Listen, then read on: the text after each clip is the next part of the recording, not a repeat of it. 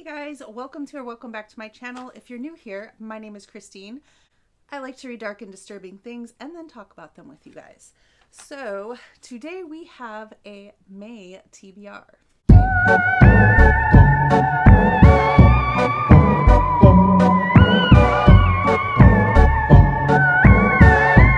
I say this every month, but I cannot believe it is already May. I don't know where this year has gone, but here we are. If you guys follow my channel, you probably know that April has been filled with all kinds of old school type reads, and I am kind of in the mood to mood read a little bit more. But what did I do? Well, I signed up for another readathon. I signed up for Escape the Readathon, which I found out about through Lexi's channel over at Books with Lexi. So I will link her down below, as well as anyone else that I mentioned in this video because there are a few readathons going on and I just want to spread the word in case you are interested in joining in. So this is my first time doing Escape the Readathon and I am on Kitty and Kelsey's team, which is Team Film Crew. I feel like I have to say it like that. I think because Kelsey says it like that. But um, what it is, is you're working as a team with other readers to make your way through different buildings on a map to escape each room, I suppose, or each building and make it to the next one. I think it's a little more complicated than that, but that's all I know going in. And a lot of the prompts are very general, so I think I will be able to more or less mood read throughout, kind of picking some books ahead of time or having books set for each individual prompt. I think I'll be able to make it work, so I'm not going to stress about that. There was one prompt though where you had to put a poll out and have other readers pick your book. So what I did was I took from my spinner wheel that I have not been following for the last two months and I chose a few of those off of there and had people pick. And the winner of that one, I think I put four choices up there, but the one that won was Gideon the Ninth, which I said I was going to read before, and did I know? But it is on my 12 to read in 12 so far i've only read two books off of that this month or this year and i need to catch up a little bit. So i am really interested in this. This is all i know is that it is a dark fantasy book and i think it's going to be something i'm into. So i'm excited to get to that. I suppose I could spin the wheel one more time and see what I get to kind of make up for other months. Let me go grab it. All right, here is my handy dandy wheel. It'll be kind of funny if I get Gideon the Ninth because I didn't erase that off of here yet. But here we go. So, why did I try to talk over that? This is my 12 to read in 12 months, and it came up with the Once and Future Witches. I feel like I keep putting this book off. Um, it's kind of a chonker, and but I do want to read it because it is about witches, and it's been on my shelf forever. So if I have time, that will be the next one that I get to after Gideon the Ninth. The next readathon that's going on is Horror Mayhem, which is I believe was started by the Bookish Bryants. The way that I found out about this readathon was through Mindy over at Mindy's Book Journey. And it is focused on horror literature, which I already love and from what I gather, it's focusing on shorter works of um, like more novellas or under 300 pages, which um, I like to hear that. So I did pick out one shorter book that I've been wanting to get to for a while. And I think that several others that I kind of have in my pile over here will also fit this theme. So a lot of this reading will be crossing over from different readathons. But the one that I've had for a while and I haven't read, and it is relatively short, it is under 200 pages, is The Vessel by Adam Nevill. I've also never read anything by Adam Nevill yet, and I have a couple of his books at this point from um, Nightworms. So this one I got first, and it's shorter. I'm going to give this one a read. I've heard nothing but good things, and this cover is freaking creepy as hell and amazing. All I know is that it's about an older woman that maybe needs help as she's gotten older and creepy things start happening. I like to go in relatively blind, so I'm going to keep it at that. The next readathon that is going on, and the last one that I'm aware of anyway, is the Zombie-thon. This is been started and held by Kat over at Kat's Novel Adventures.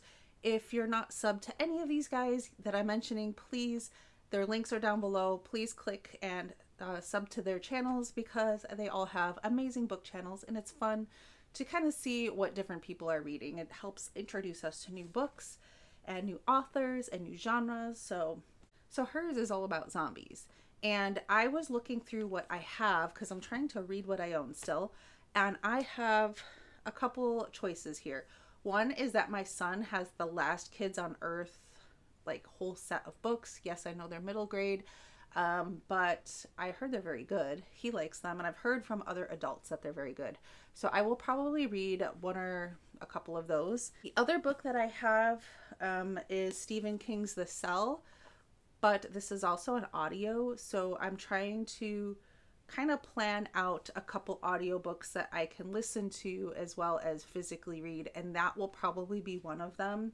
Um, my copy is not in the best condition and uh, I don't know. I would rather probably listen to it. So I'm going to give that a shot. And then, of course, we have our Laymon pick. I neglected the rump last month in April because I was so busy with old school April. And even though it would fit the theme, I just had other things that I really wanted to read more. So I didn't read Body Rides by Richard Laymon in April. I have that to make up.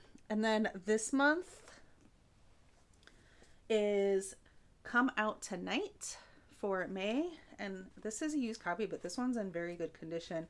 But this one is also on Everand, so I might listen to it. I find that the ones that I physically read, I kind of enjoyed a little bit more than listening, um, only because sometimes the characters annoy me, and I like to like give them my own voice in my head, if that makes sense. This one has a very um, vague premise on the back. It's basically about this uh, woman named Sherry and a guy named Dwayne that are about to get it on for the first time, and he doesn't have any condoms. So he runs to the store to get some condoms. And while he's gone, he's starting to take a long time, and Sherry's starting to get worried. And then she hears a sound that she thinks was a gunshot kind of looks like she ends up going out to explore and doesn't know what is out there waiting for her. Kind of reminds me of the first one we read this year, which was, or the first one I read this year, which was Endless Night, where that was more of a home invasion thing, but it was just kind of like going out into the night and not knowing the terrors that await you in this like normal neighborhood. And that's kind of what this sounds like to me but I guess we will find out. There are a, a few book clubs too that I have not really been following. This whole April has just been like not really following anything. But uh, Katrina from Katrina Brown's um, channel, her book club pick, um, and I hope I don't say this wrong, but is Linghun by Ai Jiang. Um, I've had this one on my Everand TBR for a while. It's still there, so I'm going to listen to this one. And this is looks like it's about a town where the dead live as spirits because the town's grief is kind of keeping them there. And that's all I know. Some kind of ghost slash spirit story. And I've heard good things about this book, but I don't know too much more about it. So I'm excited to read that. Amy over at Amy Noelle's um, for Amy Noelle's book club. I can't. I can talk. I can talk. Um, her book club pick is The Reapers Are the Angels. And this one I I can't find for free, I should say.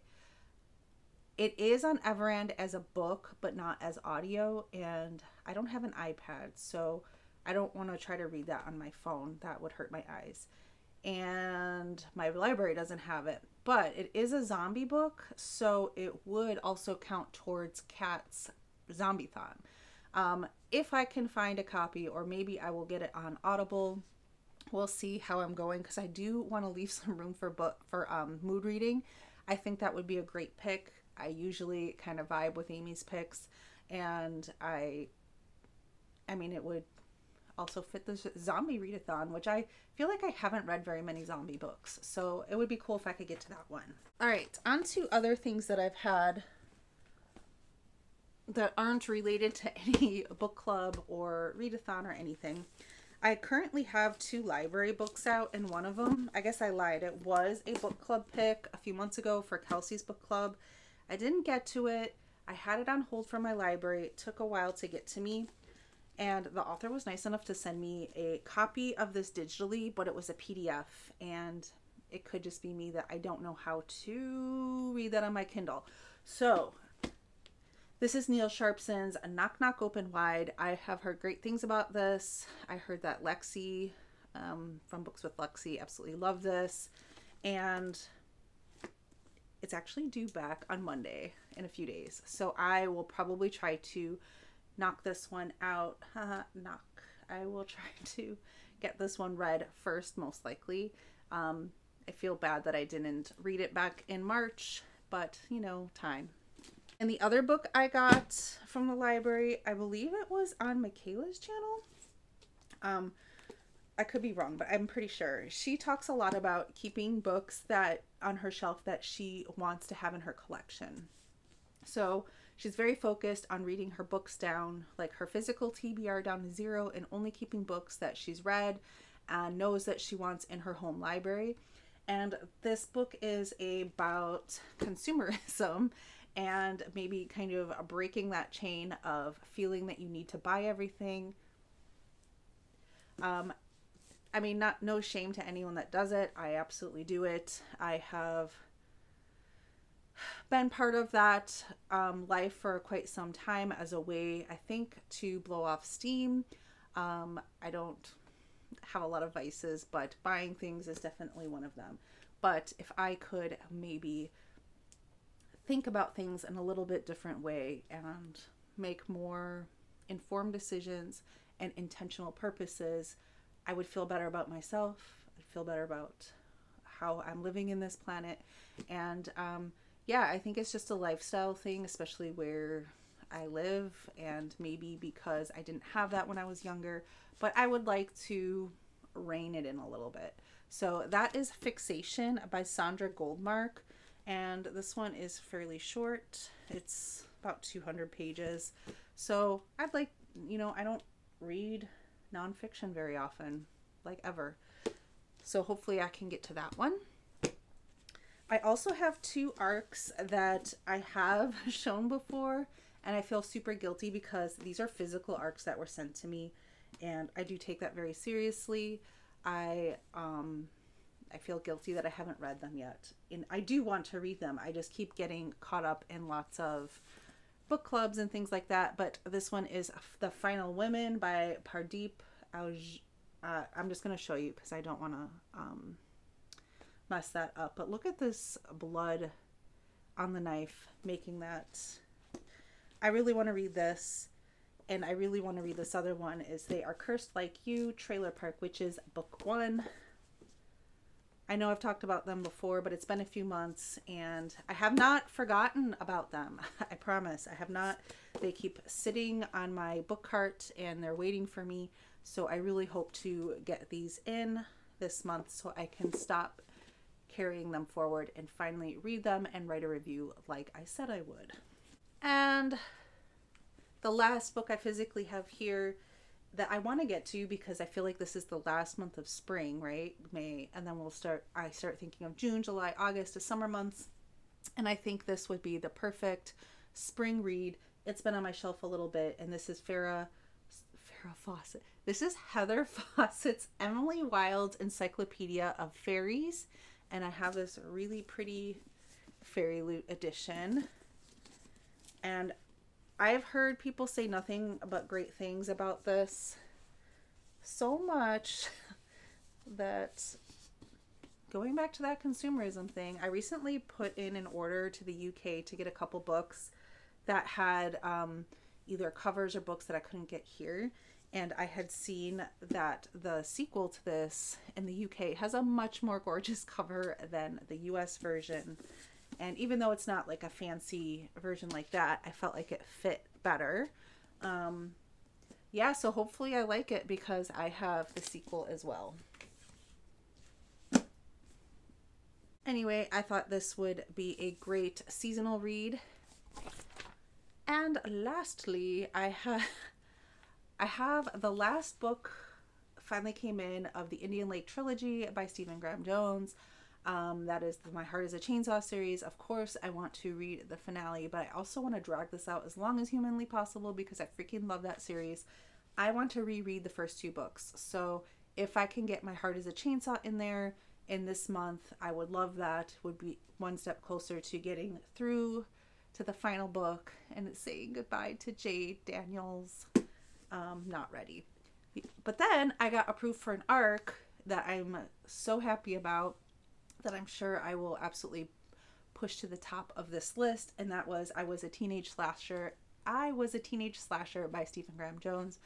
Um, yeah, I'm excited for this. I had already pre ordered this book, but being approved for the arc, that's just going to push Jade Daniels a little bit further back so I can savor that moment because I'm a weirdo. All right, I'm sure I'm forgetting something, but these are the books that I'm hoping to pick from this month. I will probably mood read and pick some other books that I didn't mention in there because that's just how my brain works sometimes. And I am coming off like a fairly strict TBR that I had for myself. Um, so I would like to get some mood reading in there and just kind of go with the flow. You know what I mean? So I would also like to hear what book you are most excited to read in the month of May. Are you participating in any of these readathons that I mentioned? Even if it is, you know, sometimes the readathons can be a little bit overwhelming, but something like Horror Mayhem or Zombiethon, you could read one zombie book and just be part of that readathon without, you know, having to follow all of the prompts. You don't have to do all of the things because there's no way we could always do all the things. It's sometimes fun just to, you know, pick and choose a book here, a book from this readathon, a book for that readathon, and yeah, it's all in good fun. So comment down below, let me know what you are excited to read this month. And if you have nothing to say but you just want to say hi, uh, leave me a little zombie emoji down below for Kat's Readathon. Thank you guys so much for watching. I really appreciate it. And have a great reading month in May. Of course, stay spooky.